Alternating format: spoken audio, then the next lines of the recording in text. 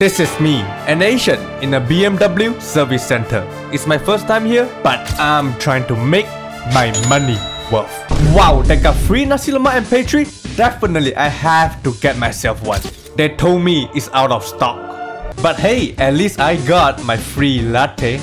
Wow, tissue with BMW logo? Definitely I'm gonna take one. Imagine someone asks me for tissue and I show him this. And boom, they think I own a BMW.